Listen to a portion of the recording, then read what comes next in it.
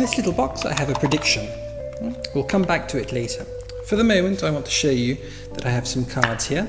I have one, two, three, four, five, six, seven, and eight cards of spades from one to eight of spades. I'll give them a shuffle like this. Okay, all shuffled up.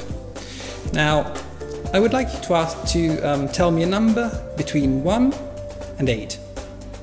Um, four. Four? Are you sure? Yes. Okay.